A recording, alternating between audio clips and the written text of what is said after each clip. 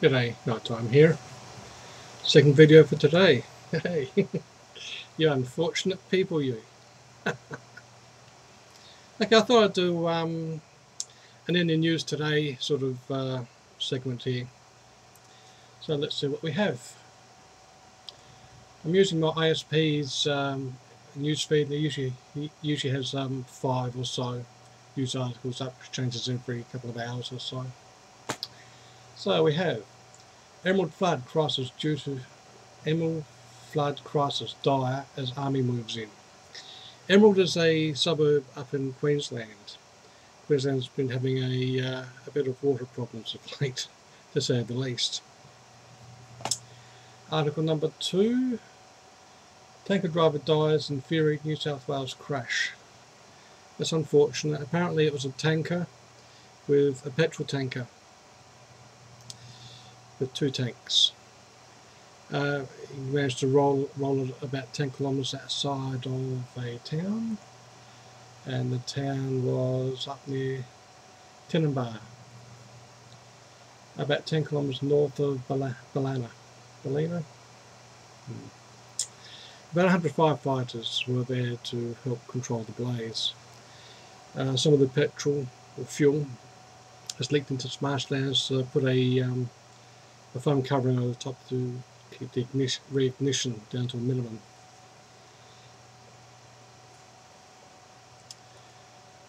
Uh, what else we got? We've got Beckham gets tough over sex story.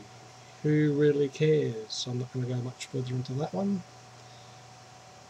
Sweet tooth burglar eludes police.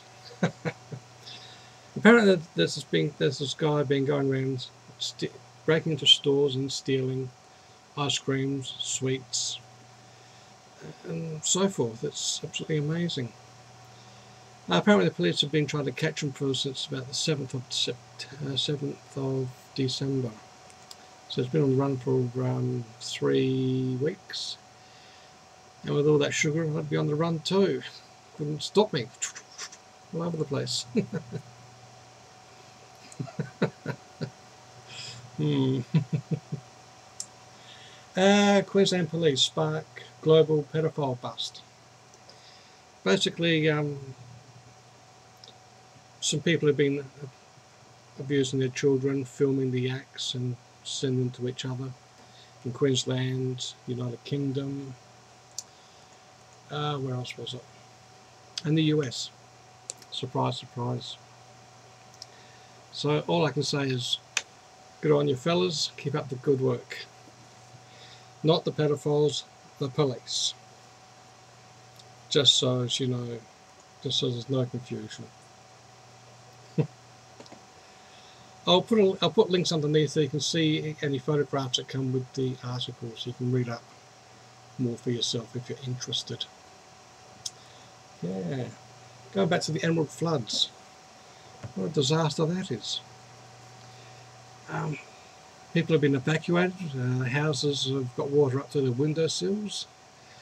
Uh, it's quite horrific, really. Uh, fortunately, there's a dam in the area. Let's have a look. What was the dam's name again? Fairbairn Dam. It's holding back an immense body of water. It's now at 175%, 175% capacity, with 5.6 metres of water pouring over the spillway.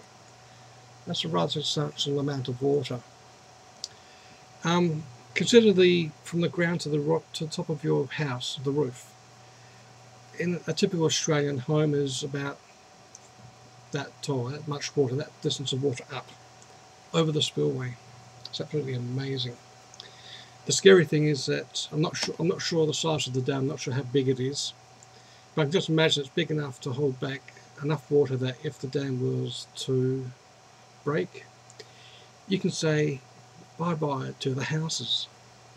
At the moment the houses are water damaged and water output it's fairly slow moving, so the houses themselves remain intact. If a dam breaks, the initial rush of water will probably just wipe away at the houses. And people say, houses? What houses? There's no houses here. Hmm. On a lighter note, water restrictions in the area have been lifted. Bit of dark humour there. Sorry. hmm. If you if you're in the uh, Emerald area and see this, my apologies. I thought it was funny at the time. Hmm. Well, that's enough for me. You're probably bored. You're probably as bored as I am if you're watching this.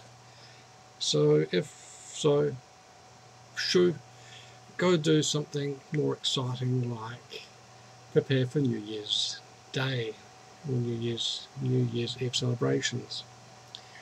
Currently 8:30 p.m. here, so it'll be New Year's Day soon. so I'll see you next year. Cheers.